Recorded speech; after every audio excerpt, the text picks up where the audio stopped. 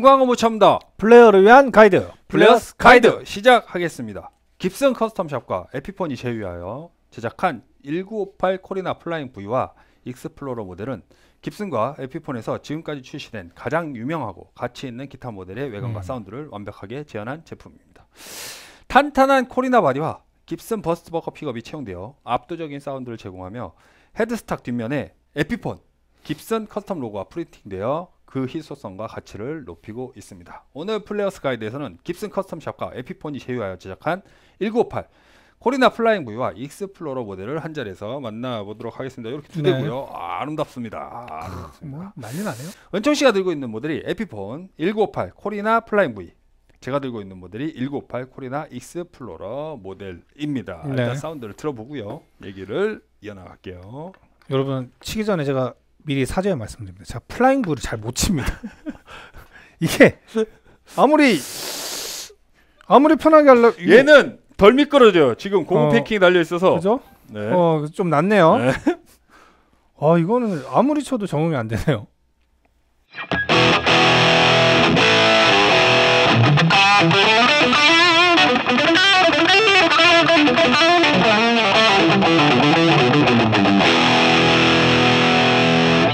가볼게요. 네.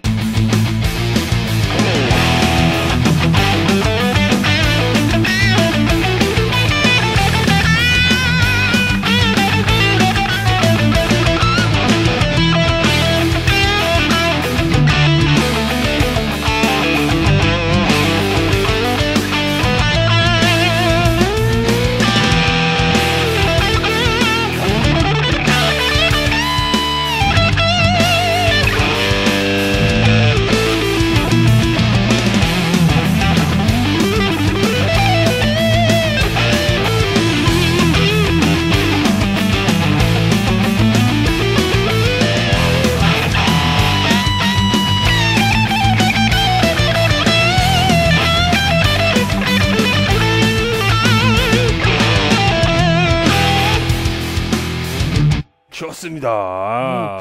이게 그 깁슨에서 느껴지는 네. 그 까끌까끌하고 음. 되게 담백한 그 드라이브 소리가 나요. 그리고 확실히 뭐 물론 마샬 앰프가 당연히 큰 역할을 하는 것도 음. 있겠지만 그 맛이 진짜 잘 납니다. 깁슨 네. custom shop과 제휴했다는 음, 느낌이 음, 음. 확 나요. 가볼게요.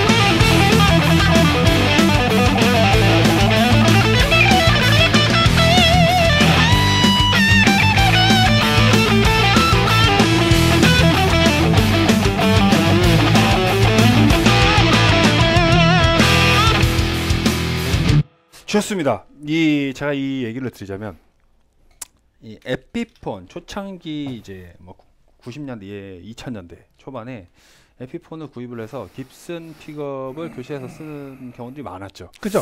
이 그리고 이 시간이 지나서 에피폰이 최근에 에, 깁슨도 그렇지만 quality가 확 올라가면서 맞아요. 이 예전에는 그런 픽업 교체가 잦았지만 최근에는 음, 오리지널 사운드로도 충분히 멋있는 음. 사운드를 내어주기 때문에 깁슨과 에피폰은 완전히 분리해서 생각을 하시라라는 여- 얘기를 저희가 많이 해드렸는데 이 친구는 굳이 따지자면 어, 사운드를 에피폰이랑 깁슨이랑 딱 선을 긋는다면 조금은 더 깁슨에 가까운 음. 음, 사운드가 연출이 되고 있다라는 말씀을 드리고 싶습니다.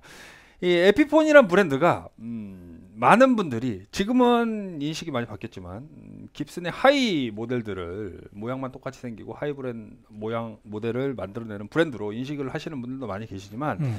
실제로 이 예전에 깁슨과 archtop 전쟁을 펼쳤던 명 음. 브랜드입니다. 명 브랜드인데 깁슨에 인수되고 나서 중간에 음, 굉장히 이제 뭐랄까 좀 이렇게 아쉬운 부분들이 많이 남는 음. 가난한 자들의 깁슨이라는 얘기를 들으면서 어, 이 평가를 받았던 적이 있었는데 최근에 이제 에피폰의 행보를 보고 있으면 음, 정말 잘하고 있다라는 생각이 듭니다. 그 중에서도 깁슨 custom shop과 이 에피폰이 협업해서 어, 코리나 음. 이 상징적인 기타 두 대를 다시 재현을 해냈는데 사운드에 있어서 어, 이 깁슨과는 또 다른 느낌을 가지고 있지만 음, 깁슨에 굉장히 많이 다가간 어, 멋있는 사운드를 연출을 하고 있다라는 생각이 드는 시간이었습니다. 그 이제 저 같은 경우는 깁슨의 픽업을 막 제가 기분에 따라 혹은 음. 때때로 가는 걸 되게 좋아합니다. 네네.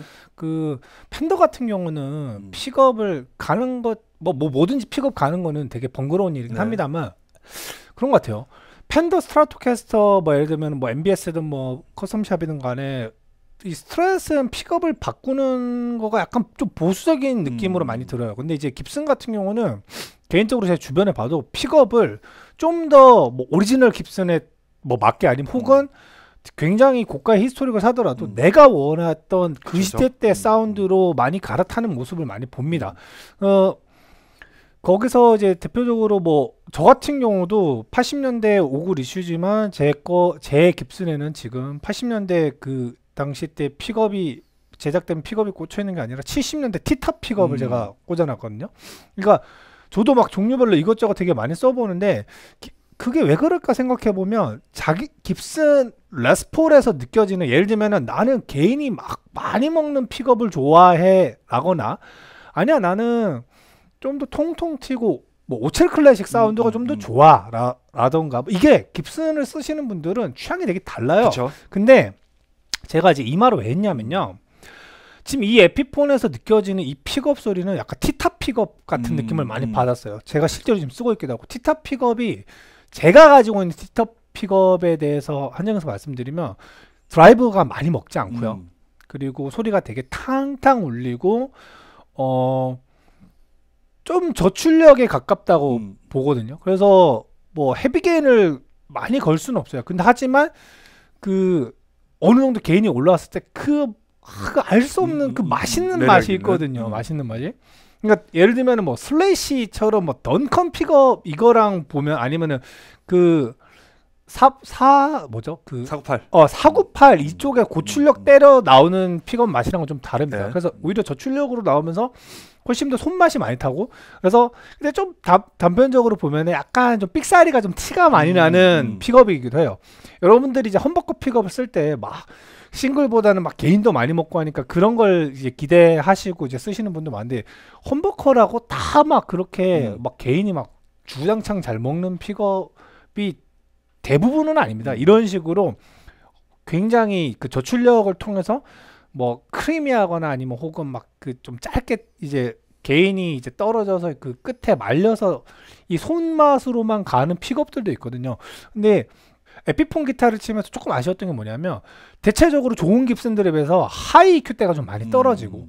그 예전에 그 우리가 레드 제플린이라든가 뭐 더 후 아니면 뭐 피트 타운센트 뭐 라든가 뭐 또 누가 있을까요? 어. 뭐 대표적으로 지금까지 활동하고 있는 뮤지 뭐 슬래시 잠깐 음, 제외할게요.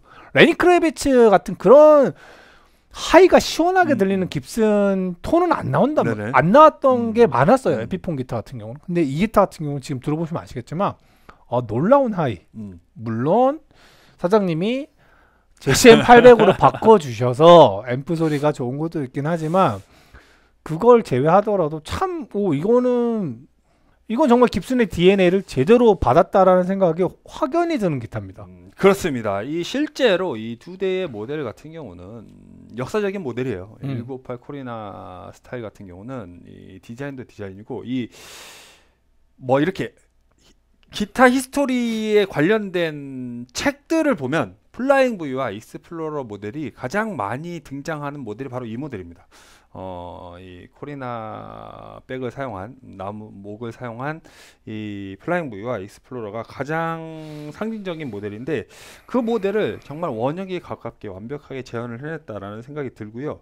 연주감도 굉장히 이 잡아보면 편하고 어, 사운드도 들어보신 대로 굉장히 훌륭한 출중한 사운드를 가지고 있기 때문에 평소에 이 코리나 어, 1958 코리나 플라잉 V나 익스플로러 관심이 있으셨던 분들한테는 좋은 선택이 되지 않을까라는 생각이 듭니다. 네. 저희는 다음 시간에도 다른 주제 갖고 찾아뵙겠습니다. 약속드리고 이 시간 마무리 짓도록 하겠습니다. 네.